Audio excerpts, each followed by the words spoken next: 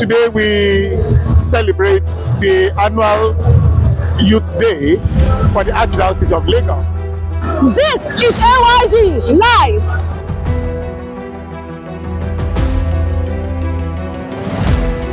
AYD. AYD.